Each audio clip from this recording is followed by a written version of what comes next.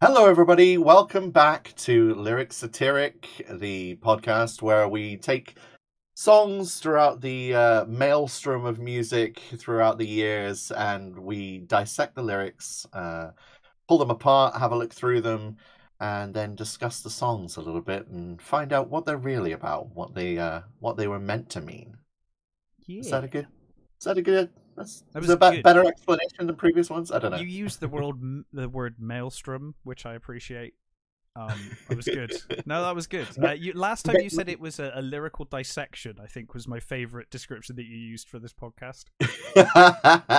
yeah, Maelstrom of Music I thought was a, a good alliteration. Yeah, I like it. I like a good alliteration. It's fun. yeah. So, uh, what song? Well, it's already up on screen, but we can Yeah. pretend like we don't know. Yeah, other people. If if you're listening to this, you already know what it is, but we'll we'll we'll tell you anyway. Um, so this is the 1973 track for a James Bond film, "Live and Let Die." Uh, the title of the song being "Live and Let Die," um, which was recorded by the uh, British and American uh, rock band Wings. Um, was performed by Wings, uh, but written by Paul and his wife Linda McCartney. Yes, indeed. Um, should we jump straight into the lyrics and then we'll talk a bit more about the song and the context sure. afterwards? Sounds good to me. Cool. Um, so with the song, uh, it, it starts off in uh, so- sort of a, a sort of quite a soft, um, melodically sung, uh, gentle part to the song. Uh, it says, "When you were young, and your heart was an open book, you you used to say, live and let live." But if, if in uh, but if this ever changing world in which we're living makes you give in and cry, say live and let die. Yeah. Uh, which is a lovely bit of poetry. It is. Uh, and uh, it's an unusual collection of lyrics. yes. So when you were young and your heart was an open book, um, it's sort of you know obviously it's saying when you were young, it's giving you a throwback to to when you were younger and and your heart was an open book. So it makes me think of, of somebody who who Innocent. uh, yeah yeah who hasn't ex- uh, you know hasn't experienced the world yet. yeah, naivety and yeah, yeah. Hundred percent, hundred percent. Used to say "live and let live," which is like it, it's a famous saying, idiom, isn't it, is. Um, but if this ever-changing world in which we're living makes you give in and cry, uh, which is, gives that little sense of foreboding, I Mm. think. Yeah. Um, but there's also, uh, should should I get into the uh, not controversy so much, but the disagreement that people have online about the lyrics? I, I'd love you to because we were we were setting up for the show and you told me this. I had no idea, so it's fascinating. Yeah, so uh, some people say it's, but if this ever changing world in which we live in Mm. makes you give in and cry, which makes sense, the world in which we live in. It's not grammatically correct, but songs don't have to be grammatically No. correct. But some people say it's, uh, but if in, but if this ever changing world in which we're, uh, as in we are uh, apostrophe re uh, living as in the world in Mhm. which we are living in kind of living makes you give in and cry say live and let die and Uh, it was it's interesting because it came up in an interview with I paul mccartney say someone must have asked Paul McCartney by now. 100% they asked him Yeah. and he was like oh good point i've never really thought about it of course not. Of course not. This is And he's this like- is like you know this is the this is like the the Star Trek convention question. You know when they ask William Shatner some really ridiculous thing, and he's just like, I, I don't know. Never really considered it that much, as much as you have, like because people have seethed over this clearly. But yeah, Yeah, and Paul McCartney was just like, yeah, I sp-, and and literally in the interview he flip flops between the two a little bit as as he's kind of like sounding it out in his head, and he's just clearly never no, like c- considered which one would be correct, and he's like going, oh yeah, the internet's gone crazy. yeah, yeah, and he, he's like, I could see how this would be ambiguous, like Yeah. Why you could do it in both ways. It both kind of makes sense.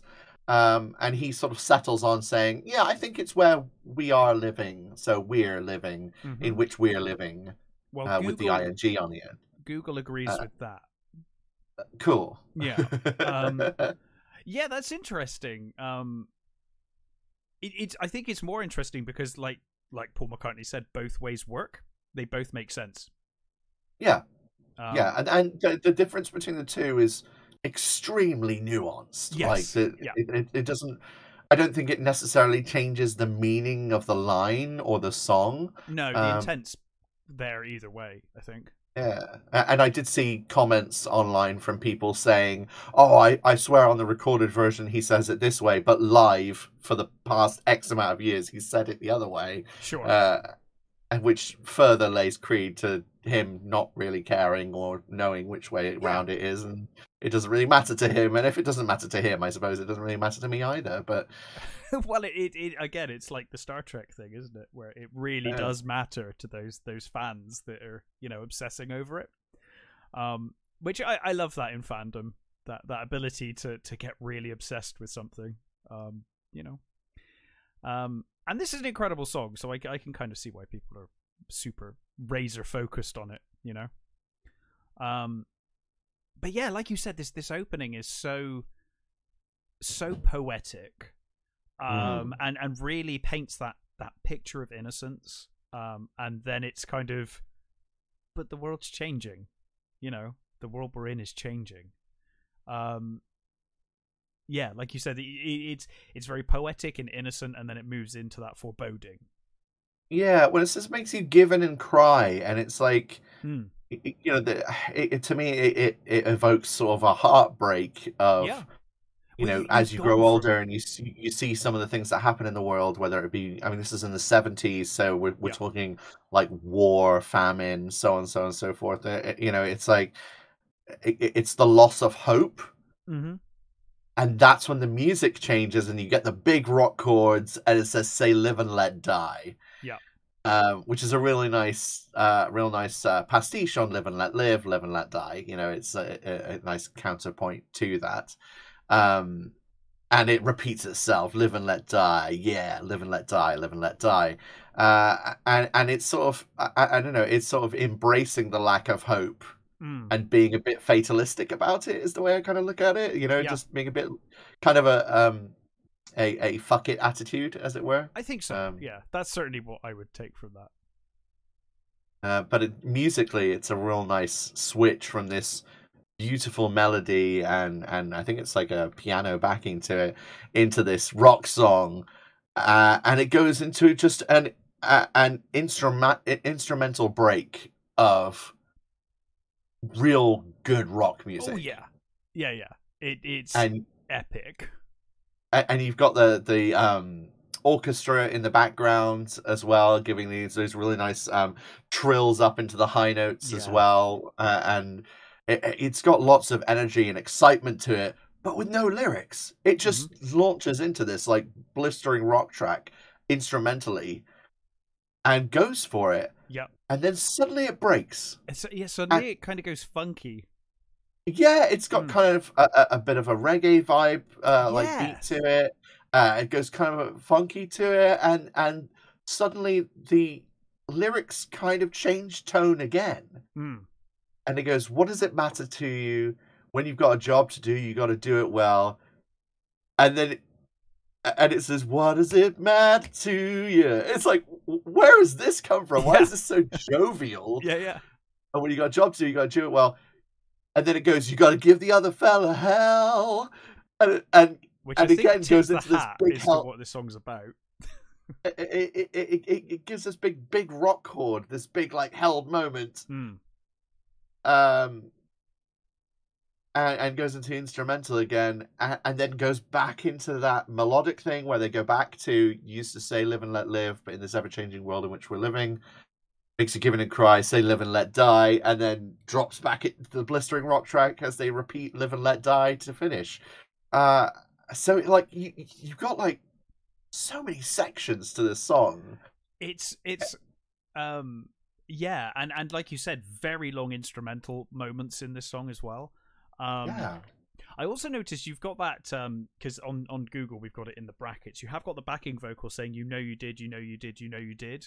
Uh, it, the, Oh, uh, yes, you used to say "live" and "let live," um, and it's almost like they're telling you. It's someone telling someone else. They're like, oh, like you know, you know, you used to be like this. But... It makes me feel also a bit like they're kind of taunting. Yeah, almost. Yeah. It's like you know you used to say this. You do you used yeah, it's, to. It's not the kind of thing you say comforting, is it? No.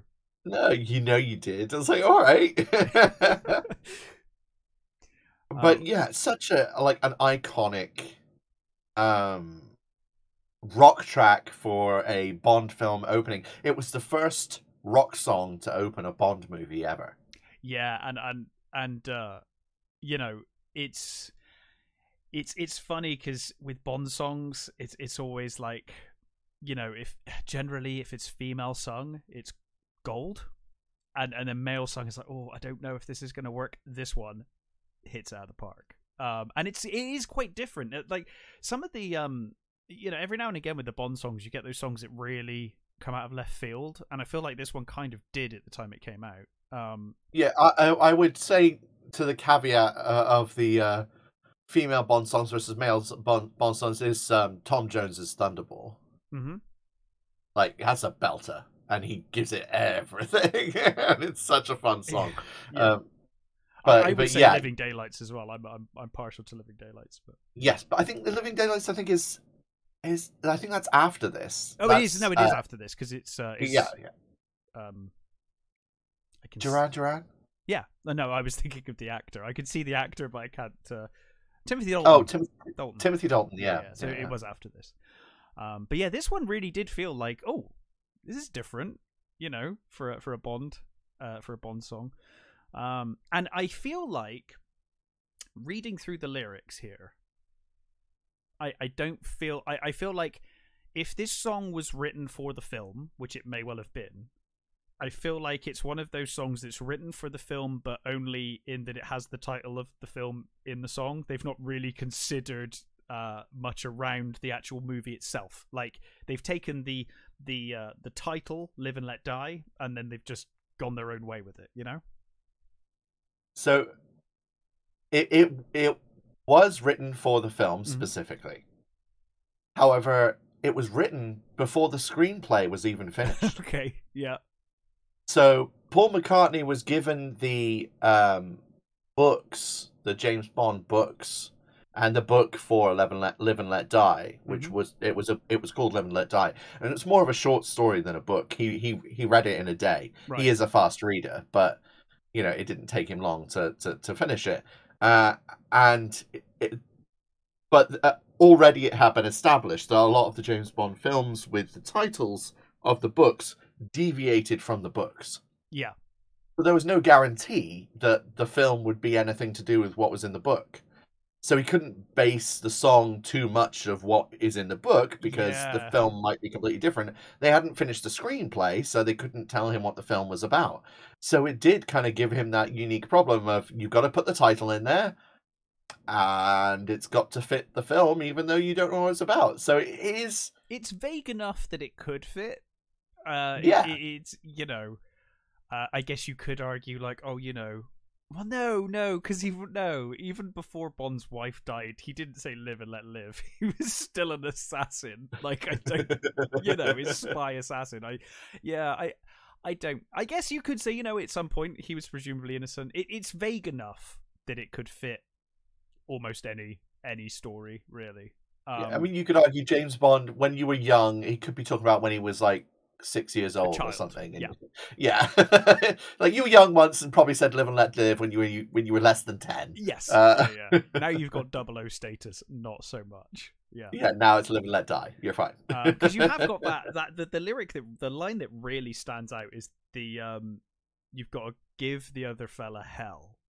That's the like. Oh, okay. This is you know. Um, this is obviously either competing against someone or uh, or or fighting against someone, you know? Yeah, yeah. Uh, rather than it being because that that first opening, the first opening bit, you know, w- uh, when you were young and your heart was an open book, used to say "live and let live." But in this ever ever changing world in which we're living, makes you give in and cry, say live and let die. That could just be like a a a mantra for growing up in life, right? Yeah, Generally. yeah, very true. But Yeah. but when you start saying "give the other fella hell," then it feels like oh, there there's a point to this. This is not Yeah, like a there's a more advice. This is a specific. We've got like maybe six lines at the end here, which is actually the the point behind the song. Yeah, But it's also it's weird because it's like, it, uh, what does it matter to you? Which kind of dismisses everything that's come before it in yeah, the song, yeah, yeah. and it's to this like chilled out reggae beat of "What does it matter to you?" It's like what? Okay, so the rest of the song is irrelevant. When you got a job to do, you got to do it well. It's like, well, well, yeah.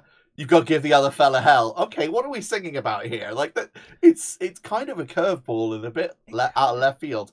Not only in terms of the lyrics, but in terms of the style of music that has suddenly been thrust upon us before we go right right back into the blistering rock track. I've just had a thought. Now, now reading this, do you do you, like this could almost work as someone in their own mind taunting themselves, and it's a bit bipolar with their feelings. A little bit, a little bit. you know because like you said it's like well what does it matter to you you know like uh, like you know if you're if you're going through a breakup or something and you're really upset and you're like well does it really matter i guess it doesn't matter and just try and like convince yourself that it doesn't matter um and and then you get to that that bottom line where it's like you got to give the other uh, fella hell. You know it almost becomes aggressive again. You're angry and you you know you remember that actually i am angry Yeah. about this. I am you know determined or or whatever. Um i don't know. I, I- I wonder if also with the you know you did you know you did that kind of taunting nature of it Mm.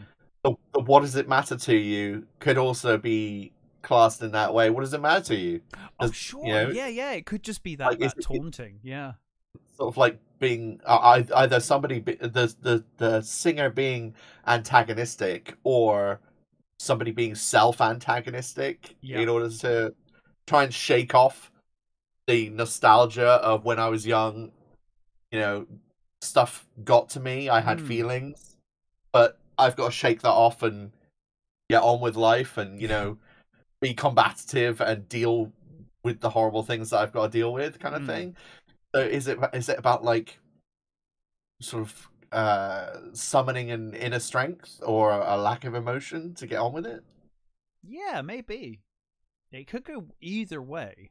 Um, oh, there was a review in the uh, magazine NME by Ian MacDonald of the song, of the song yeah right? Uh, and it said McCartney's fairly reasonable solution to the given problem. Write in less than 25 bars a theme tune for the new James Bond movie. Uh, his solution is to let it be for the first half, Wait- I see what you wailing absently with a curious notion of grammar about this ever changing world in which we live in, before sitting back to let a 3,000 piece orchestra doing the, do, a, do a man in the streets impression of John Barry. It's not intrinsically very interesting, but the film to he- will help to sell it, and vice versa, which is a bit of a, That's pretty harsh. cutting review. yeah, I love this song. Um, yeah, that sounds really harsh. Um, wow. Okay. but I, I, I do think there's something to the fact that McCartney was given a given a brief of write a song to a film that you that you song. haven't seen or read yet. Based on nothing. Yeah. Um, and there, there there's a, like an account of um one of the other people in Wings. Uh, I can't remember which band member it was, but they said that he got the brief whilst they were on tour, and he was he was sat down. Paul McCartney apparently sat down in front of a piano after reading the book, the short story, Hmm. and uh, just started plinking away, going "Ba ba James Bond," and sort of like in a jokey kind of way. And apparently, it just sort of came together the Right. concept of the song like in an afternoon and he said how fascinating it was to watch him go from this is a ridiculous con- con- concept and essentially and, and a ridiculous bit. ask, really. yeah and suddenly turning it into a song and paul mccartney was saying you know the, the title of the story was live and let die Hmm. and he was like oh well that's a pastiche or a counterpoint to live and let live so that's got to be my counterpoint which is why he put that in the in the sort yeah. verse section, which which is a you know It's pretty a- a logical. sm- yeah, it's a very logical way of doing it. Um, but it seems like there's there's not actually, in reality, there's not actually much that much deeper thought that's been put into it.